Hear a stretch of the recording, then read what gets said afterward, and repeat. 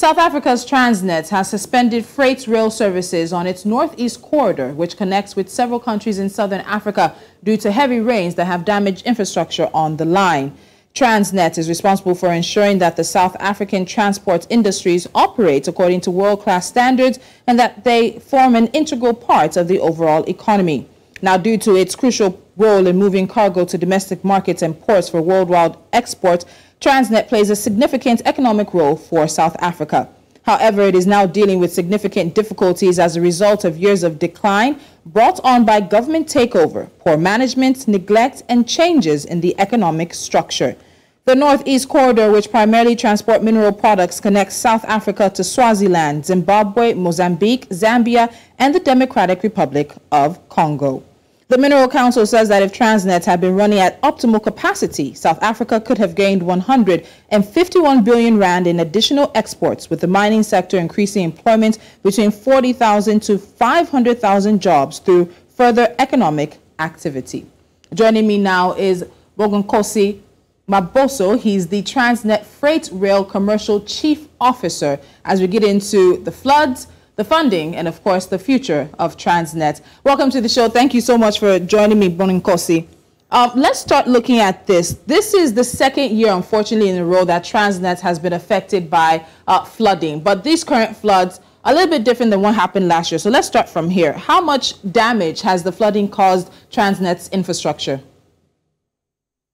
Uh, thank you for having me on your show, Tuli, and a good uh, afternoon to your viewers. Um, what has happened and, and what has impacted us with these floods is we've lost uh, quite significant opportunities of revenue earning on our end uh, to the tune of about 400,000 tons that we could have moved uh, due to the floods that we have not been able to move. Just to bring a bit of context, um, the areas that have been impacted by the floods experienced rains for a period of three weeks consecutively and uh, as a result, we, we experienced washaways of some of our rail infrastructure. And most importantly, uh, we also had stoppages on our rail operations. So as I said, this is the second year that uh, Transnet has experienced flooding. One would even have to ask, has Transnet even recovered from last year's flooding before being hit uh, by this second year in a row? We have not fully recovered. The corridor that was impacted by the floods in the in the uh, in last year uh, was the container corridor, which runs between Johannesburg and, and Durban, and uh, there are branch lines that would link up within KwaZulu-Natal province, uh, uh, where it, the end destination of the line is, uh, that would still have not been recovered up to. We recently were funded to the tune of about three billion rands. Um, for infrastructure uh, uh, maintenance uh, that we've, we've implemented on the line, which has enabled us to bring on back into operation our main line between Johannesburg and, and Durban, but the branch lines that would link then the, the surroundings of Durban with the port still remain unoperational at this stage. So we still have not fully recovered mm. uh, from the impact of the previous floods, and we are now dealing with this issue. And so when you look at it overall, Transnet is quite important to not just South Africa, but also to the Southern Africa region uh, and neighboring countries. So how has this primarily affected business for South Africa uh, and then also for the region as well? Uh, thank you. That's a very important point that you raise. Um, South Africa is an integral part of the SADC region, and therefore we partner very closely uh, with countries such as Swaziland, uh, Mozambique, amongst others. Uh, the unfortunate part with this uh, uh, uh, flooding that we experienced is that it wasn't just limited to South Africa. Uh, some of the rail infrastructure leading into Swaziland and Mozambique was equally impacted. We have been able to restore operations on our side in South Africa, but uh, our partners across the, the border in, in Swaziland still remain unoperational at this stage, which means the impact of the loss in revenue extends across to South Africa and, and Swaziland. Uh, Mozambique, on the other hand, has been able to uh, uh, re-enable operations and the trains are moving uh, in that regard.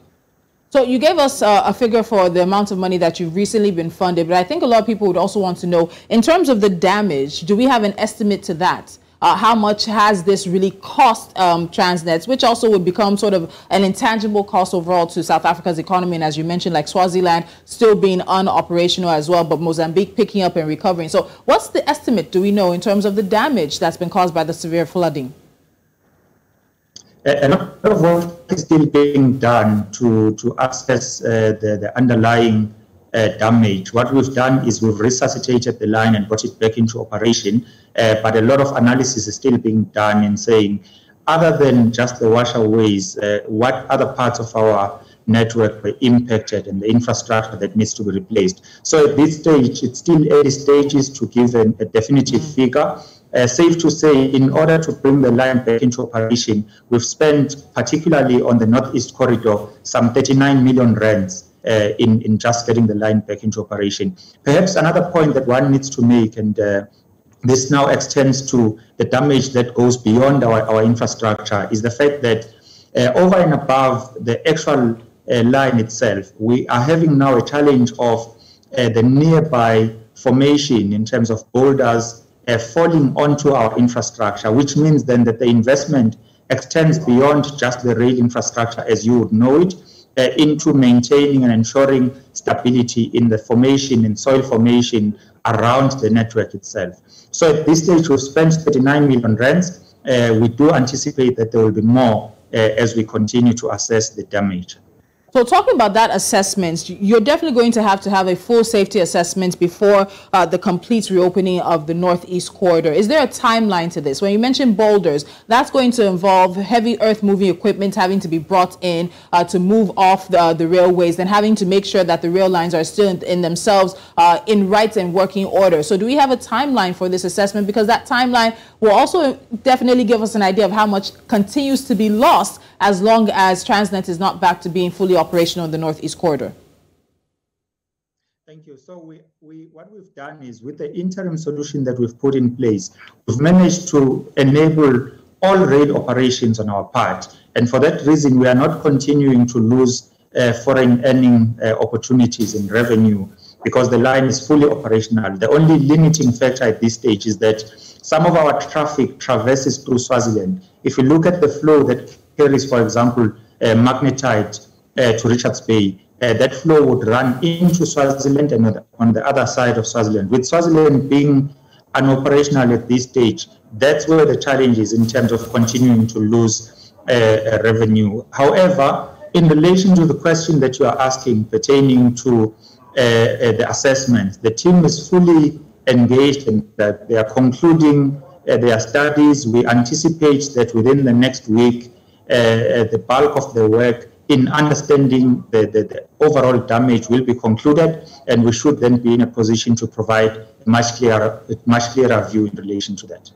So the flooding is an act of nature, but Transnet has also been the victim of the acts of man. There's been uh, issues with stealing of infrastructure and steel and things like that. We've talked about, of course, um, the management issue that Transnet has faced. You talked about the a loan or bailout or funding, whatever terminology you want to use. But over the past several years, people have been worried about Transnet. Is there a reason for investors and people who are interested in the mining sector in South Africa to continue to be worried about Transnet and its operations?